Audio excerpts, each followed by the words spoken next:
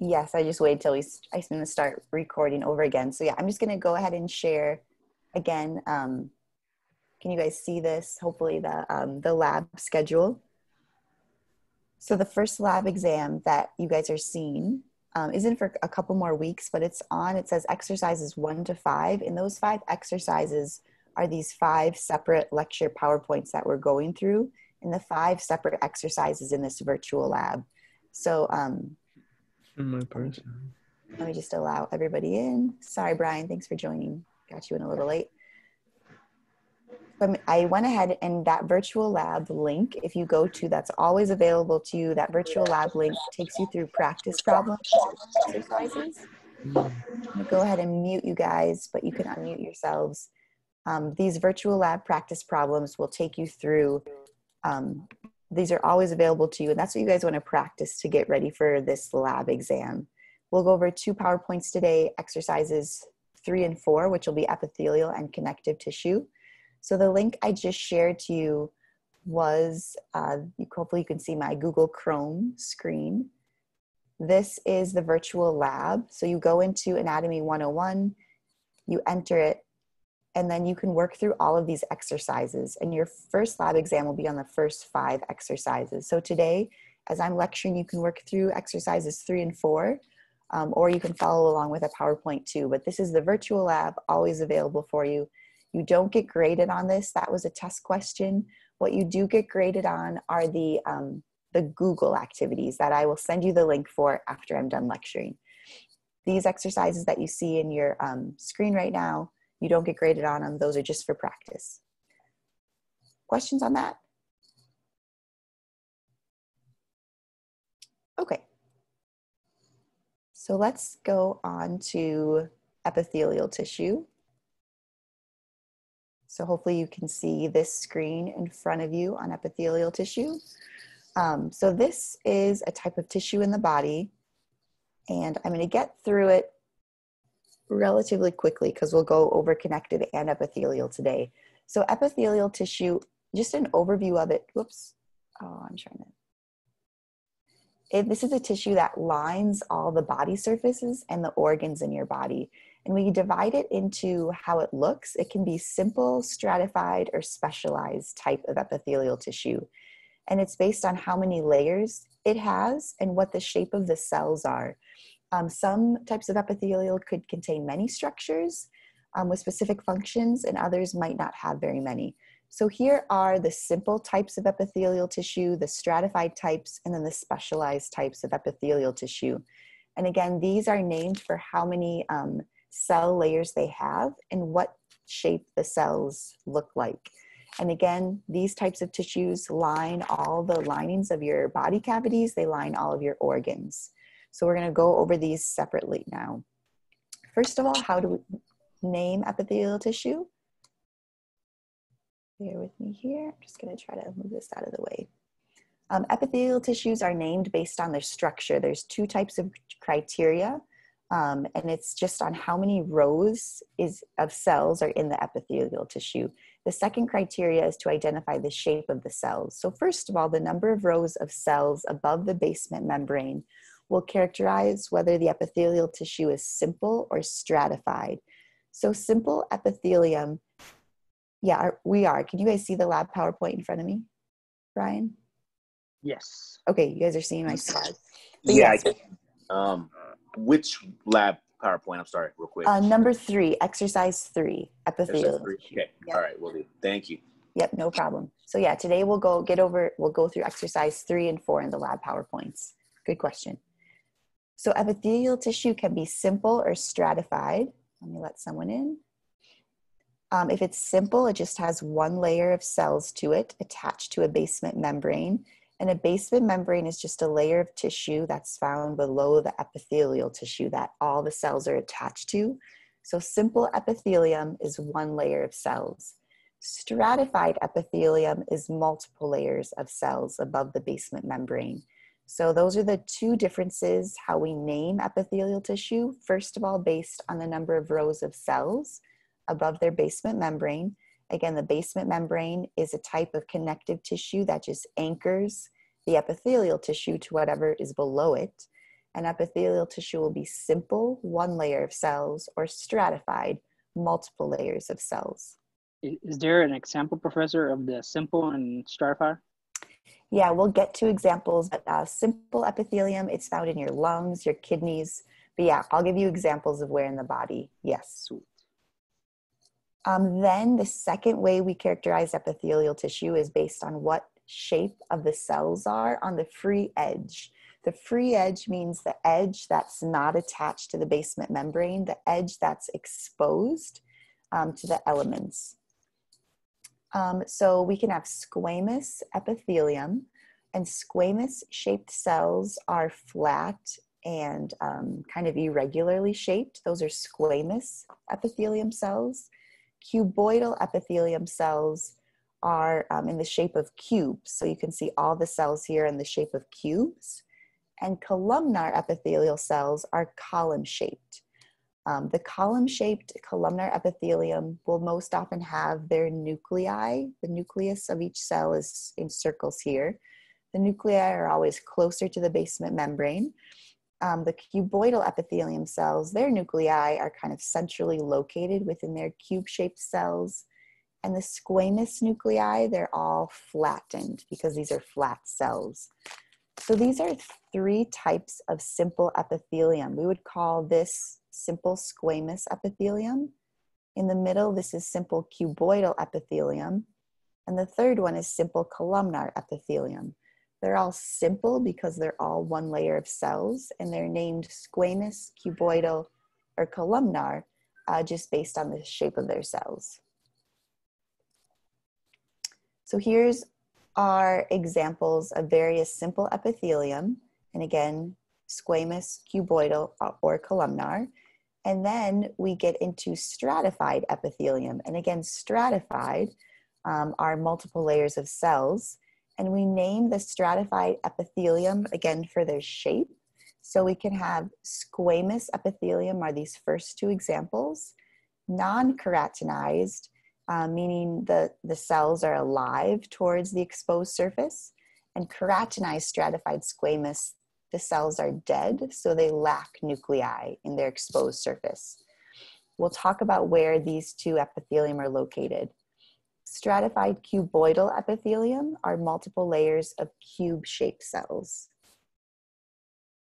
Hey, Professor, that picture is kind of like blurry. How can you tell the difference from looking at the skin itself if it's uh, dead or alive? The dead or alive. So on the left side, you it's hard to tell, but you would see a nucleus found in all of the outermost layers of flat cells uh, because the nuclei will signify that they're alive. So you would have like an extra circle within those cells.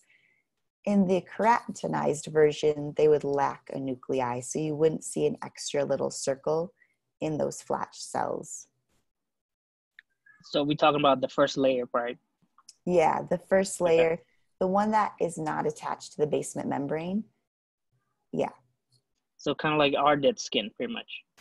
Yeah, so an example of keratinized stratified squamous would be our skin cells. Um, non-keratinized stratified squamous, they are found in areas that take a lot of abrasion, so they would still be sloughed off a lot, but you find non-keratinized stratified squamous in your esophagus, um, in your oral cavity that gets a lot of abrasion from food, and a lot of these cells will still be sloughed off, but they'll still be alive. But yeah, we'll look at examples of where to find these types too. Uh, specialized epithelial, we call these uh, pseudostratified columnar is one specialized type. Pseudostratified means it's false stratified, so you think there's multiple layers of cells, but it's pseudo or false stratified because if you look closely, every cell uh, will kind of reach down and touch that basement membrane. Pseudostratified columnar will often have other structures associated with it, like goblet cells, which secrete mucus, and cilia, which are these little tiny hairs that cover the exposed surface. Uh, these will be found in various parts of your respiratory tract.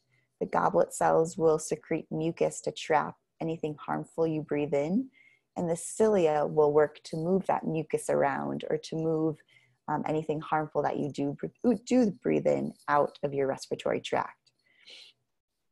If you are a smoker, the cilia in your trachea are completely um, abrased or brushed off, and you're left with just simple squamous or stratified squamous epithelium. Um, so, smoking actually completely changes the lining of your respiratory tract. And without cilia and goblet cells, you're not able to trap a lot of the harmful things you breathe in. So, not only does smoking uh, darken your lungs, but also it um, takes away the ability for your respiratory tract to clean out all the air you breathe. If you stop smoking, this epithelia can re- reverse itself a little bit. Um, so that's just my little soapbox to stop smoking. I'll get off it now. The other type of specialized epithelium is transitional epithelium.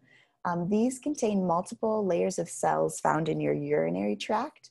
And transitional epithelium, I'll, hopefully I'll show you a better picture of it, but transitional epithelium, they look almost like the cells are shaped like balloons because they can be stretched and then put back into normal into a non-stretched state.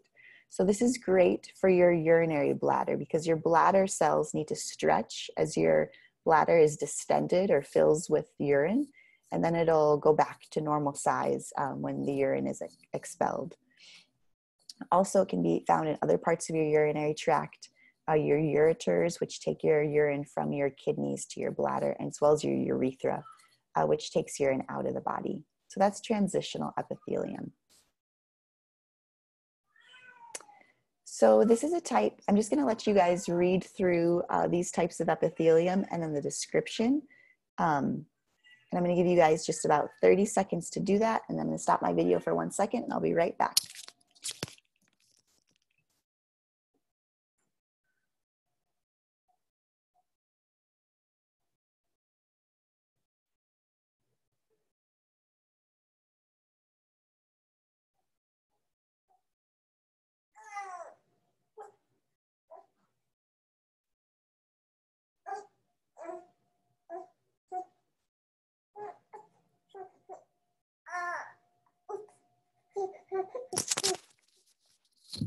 All right, I'm back here. Sorry for the interruption.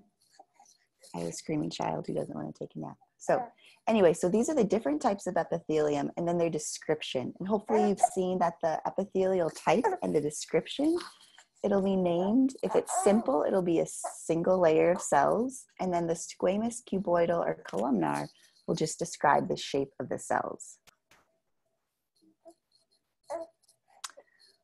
Structures associated with epithelia. Um, so we talked about the basement membrane. This is what anchors the epithelium in place. It'll be a type of connective tissue that will anchor all the cells above it into place, whatever's below them. The cilia will be tiny hair-like projections that extend.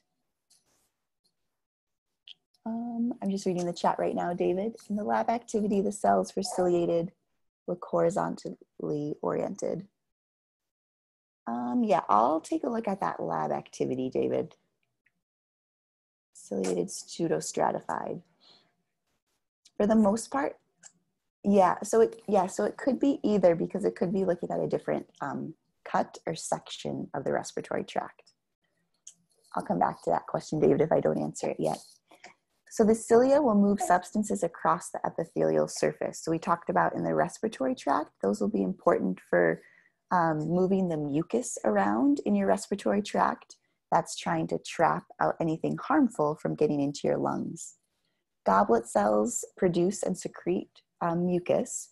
Keratin is a protein substance that adds additional strength for protection against abrasion so when we called epithelial keratinized stratified squamous, the keratinized referred to keratin in the exposed cell layers.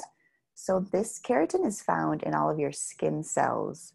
So your skin, um, you guys brush off skin cells, um, thousands of them every day. And I usually say this in class and it grosses people out because we're probably breathing in everybody's keratin and their keratinized skin cells. But keratin provides a level of protection um, for your skin. And then the microvilli, this is also known as the brush border. You'll, we'll find this in the small intestine in some types of epithelium, and this is just to help to, increase surface area um, for absorption of nutrients. Um, so here, okay, this is what I wanted to get through. So here's the type of epithelium, the function, but then where it's located.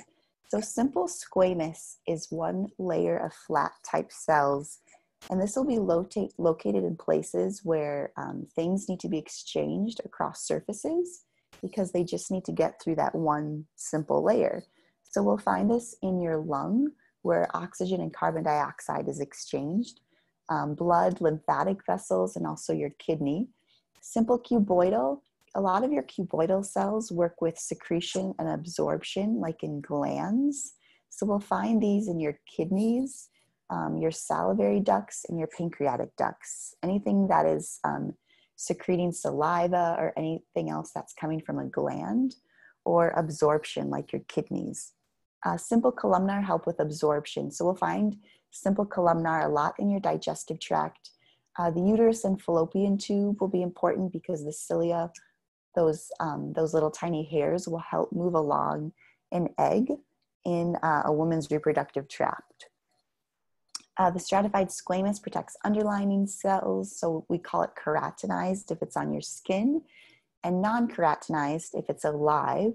So it'll be more moist and it'll be in your mouth, the oral cavity, the esophagus, vagina, um, anal canal, your cornea, uh, which is your cornea is the outer, um, it's a layer in your eye that covers your iris and your pupil.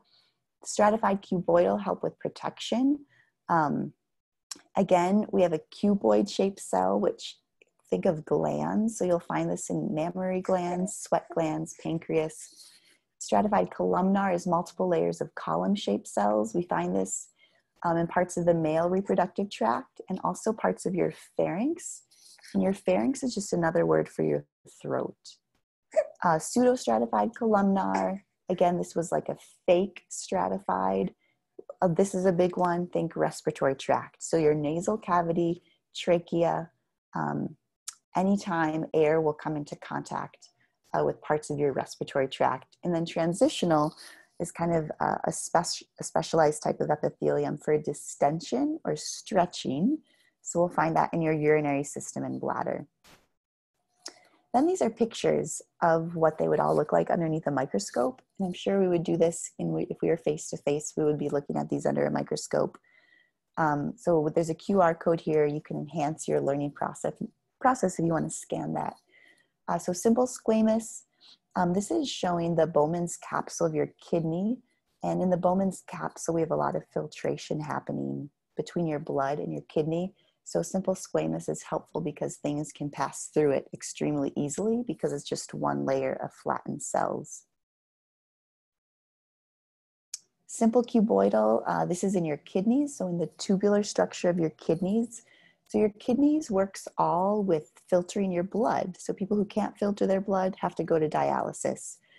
The kidneys are specialized to filter blood because they're, the tubules are made of this simple cuboidal epithelium. And you can see this one layer of cube-shaped cells. And you'll see the surface that's attached to the basement membrane. The basement membrane is a little bit darker. And then you'll see this hole or opening, and that is just showing the tube that the simple cuboidal is surrounding. Um, this is simple columnar epithelium. Um, so this is probably, does it tell us where this is? In the intestine. Um, if you would zoom in on it, you would see microvilli, which are little tiny hairs like a brush border, which help increase absorption. Uh, goblet cells, you'll also have goblet cells in the intestine to help secrete mucus for help for digestion absorption purposes. But simple columnar is one layer of column-shaped cells. Here we have non-keratinized stratified squamous. Um, so you'll see nuclei that are highlighted there. So you'll see little circles within the cells on the exposed surface. So if you have nuclei, that means these cells are alive. They're not filled with keratin. So we call them non-keratinized and you see these multiple layers. So we say they're stratified squamous. The basement membrane is in a dotted line here. So again, this type of epithelium is important for a lot of abrasion. Um, so think of your mouth with all the food going down your throat, esophagus, your anal canal, where you have a lot of waste being excreted. Um, so these will be alive cells, non-keratinized stratified squamous. Then these are keratinized stratified squamous. So you'll see this layer of keratin are the keratinized stratified squamous cells. Um, you don't see any nuclei in these cells, so you have no tiny little circles. That means these are all dead cells. You'll find these, this is your um, epidermis layer of your skin. So these can easily be sloughed off, regenerated. Um, what happens is, is your skin cells will grow and regrow and replace each other starting at the basement membrane. And then they'll just push the cells above it further and further out so that when the when they die off and get filled with keratin which is that pr- protective substance uh, the cells at the exposed surface which is what you can touch if you rub your fingers together uh, they'll just slough off and new skin cells will be regenerated below them and then push push each other up and out uh, as they die off and fill with keratin Hey, Professor, you have a question in the chat room. thanks Correct. If these cells are filled with keratin, and keratin is a, a protein um, that fills up these cells, there will not be a nuclei. They'll be dead, they'll be filled with keratin. And again, the keratin is a protein and it just is a protective substance um, that it helps to pro- provide a water barrier to your body as well. Um, so that when you go swimming, water isn't leaking out of your body and water doesn't go into your body. So it helps to provide that protective layer. Good question, David. Would it now apply to this theory? Uh, what theory? Sorry, say that again.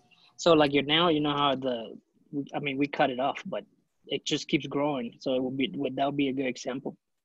Yeah, I missed. Is did what though, Yasami? I didn't. Nail? Oh, your nail.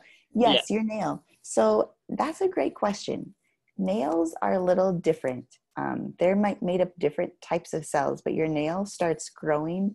If you look down at your nails right now and you see the the half moon, the white part, that's your nail matrix. That's where nail cells will continue to grow. But nails are made of a little different type. Uh, that's a great question, though. We'll get to that, hopefully in the integumentary system.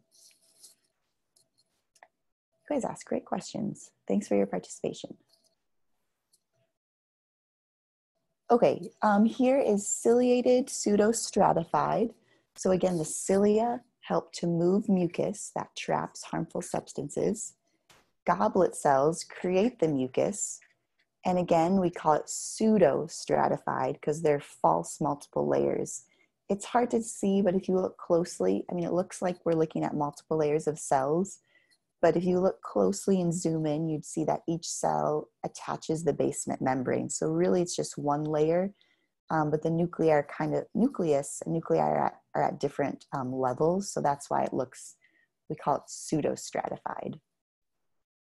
So this is respiratory tract, important for um, trapping harmful things you breathe in and then moving them along. Here is transitional epithelium. Um, found in the ureter and part of the urinary system. This epithelium is specialized for stretching. Um, it, is, it assumes a cuboidal type shape when it's unstretched. So that's why you have that unstretched cuboidal there, but that's kind of labeled confusing. But this is transitional epithelium. And it tells you here, remember from our, what was it, last week's lab, we're looking at this, at this under 400 times magnification here. So we're probably in the 40 X objective lens. Oh wait, so I'm going to pull up the next PowerPoint slide right away because you only have one lab activity to do in Google. So I'm just gonna pull up the second PowerPoint slide and then we'll, I'll give you that Google link to do on your own. So.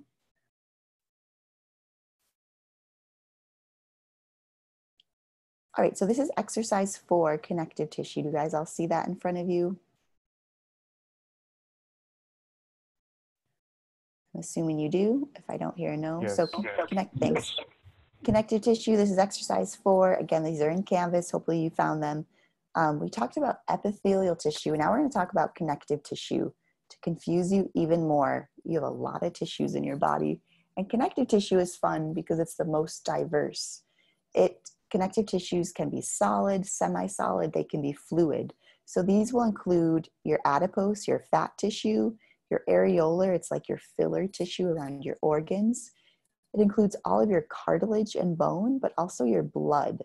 So connective tissues are the most diverse, they're the most abundant in the body. Um, all the bold typed connective tissues with the uh, with figure listed um, will have a histology slide component to it in this lab. And I think those are the pictures that we'll see. But these are the different types of connective tissues. Um, some classification of connective tissues. Connective tissues consist of a matrix. And a matrix just a matrix just means anything extracellular. So epithelial tissue was mainly made just of cells, right? They were either flat, cuboid, or column shaped. Epith- connective tissue has cells, but it also has this matrix, which is anything extracellular. That can be proteins, fibers, collagen fibers, any sort of ground substance to it. Um, the three major types of matrix will be protein fibers, protein ground substance, or any sort of fluid. And then within the matrix, there could be various cells found there. Uh, protein fiber matrix, there can be collagen fibers, uh, reticular fibers, or elastic fibers. And different types of connective tissue will contain different types of fibers depending on what its purpose is. Collagen fibers will be arranged differently uh, depending on what type we're talking about. In loose connective tissues, collagen fibers are loosely arranged. And in dense connective tissues, um, the collagen fibers will be more densely packed. A little bit more words. I don't like just reading words. I'm sorry there's no pictures here. Um, the extracellular material will contain protein fibers and non-protein fibers, and these will be found in cartilage and bones. There's three types of cartilage, and they're listed there, hyaline cartilage, fibrocartilage, and elastic cartilage. Uh, chondrocytes, in bold, those are cartilage cells, and they are kind of sit in what we, in an unfilled space called a lacuna. So cartilage cells are called chondrocytes, and they just hang out or sit in an unfilled space called a lacuna. Bones um, contain collagen fibers that are intertwined within minerals like calcium and phosphate. There's two types of bones, compact and spongy. And under the microscope, this bone tissue resembles uh, cancer cells, but they're all normal and not deceased. And hopefully we'll show you pictures of this. And then the fluid matrix, the example of fluid uh, connective tissue matrix are the blood and the plasma. Okay, so here are the cells of connective tissue and their description. Fibroblasts are the principal cells of connective tissue because fibroblasts will be responsible for producing collagen and elastic fibers and all of the ground substance. And the ground substance is all of the filler material. Um, chondroblasts and chondrocytes are cells that form and maintain cartilage. Osteoblasts and osteocytes are cells that form and maintain bone. Macrophages are, think of that, they are involved with the immune response.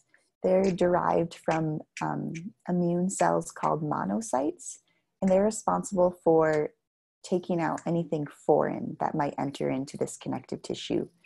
Adipocytes are fat cells. They store all of your lipids or fat. Um, mast cells contain histamine or heparin, and they will start an allergic reaction. So they are important in the immune response as well. And mesenchymal cells, these are embryonic stem cells that could differentiate or change into a different cell type. So these are all of the different types of cells in connective tissue, depending on what type of connective tissue it is. This is a look at loose areolar connective tissue. So it's loose, so the fibers are loosely arranged.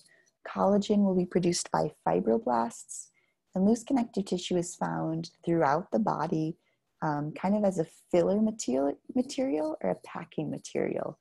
Uh, so you can see collagen fibers are a lot thicker than elastic fibers, you can hardly see that elastic fiber there, but collagen fibers, their diameter is a lot wider or thicker. Um, and you can see some of these other cells located and highlighted there. Adipose tissue. Um, adipose tissue is just your fat tissue.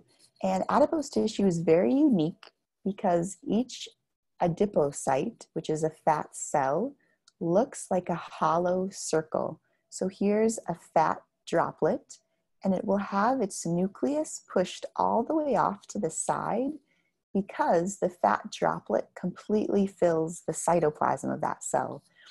So again, this is a slide, a picture of adipose tissue.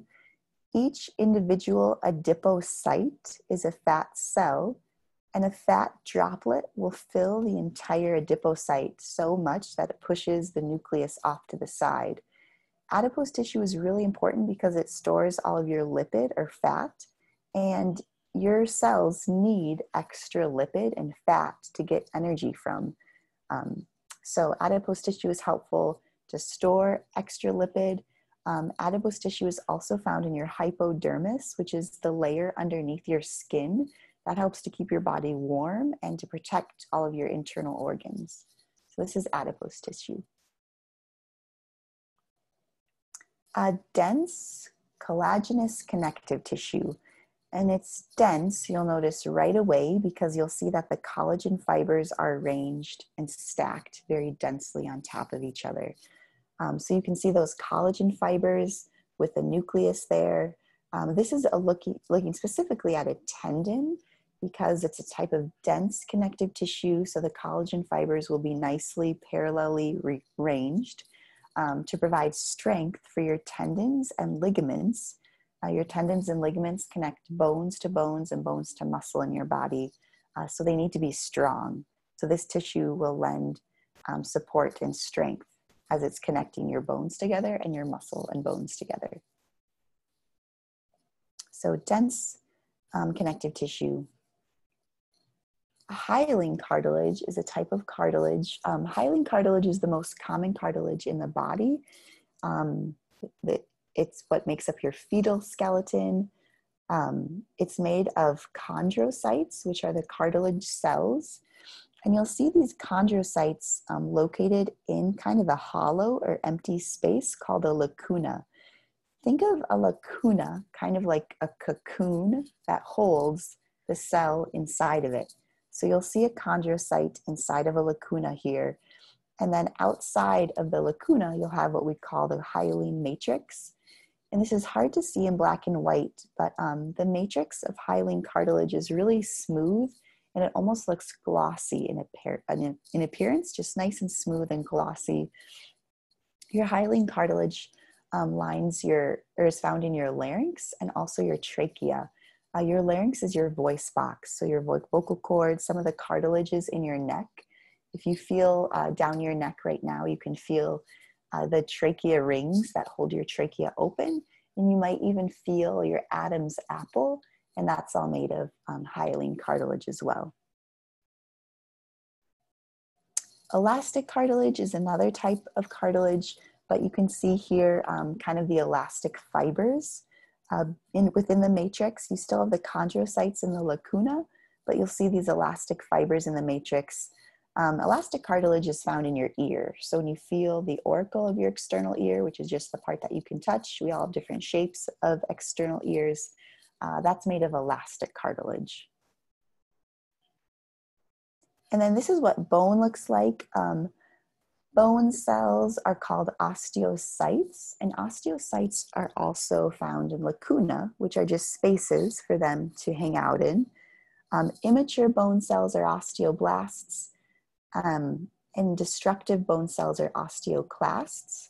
And bone is arranged in these circular structures called osteons or Haversian systems. And each osteon contains a central canal, which is where all of your blood vessels will go through. You'll see osteocytes, and you'll see these rings of bone tissue called lamella.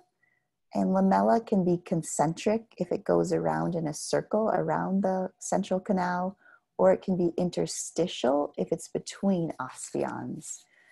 Um, bone is fun to look at because it might remind you if you take a cross section of a tree and you look at the rings around a tree trunk, um, that's kind of what the cross section of your bones look like. This osteon with the lamella around the central canal. Uh, the blood then is a fluid type of connective tissue. So this is a look at blood. Um, blood contains many different types of cells. Erythrocytes are your red blood cells, and that's the majority of what you see here in this picture. Uh, you see these red blood cells are all the little darker circles. Um, and then you see anything that's not a red blood cell or an erythrocyte is a leukocyte, which is a white blood cell. And um, white blood cells, or leukocytes, also what they're named, are just part of the immune response. And you have different types of leukocytes. But this is a blood smear. Um, I've sometimes done this in labs is you'll take a blood sample and put it underneath a microscope and this is what you would see. So um, blood smears are fun to do. Okay, let me stop this recording and then I'll give you the link. Ah.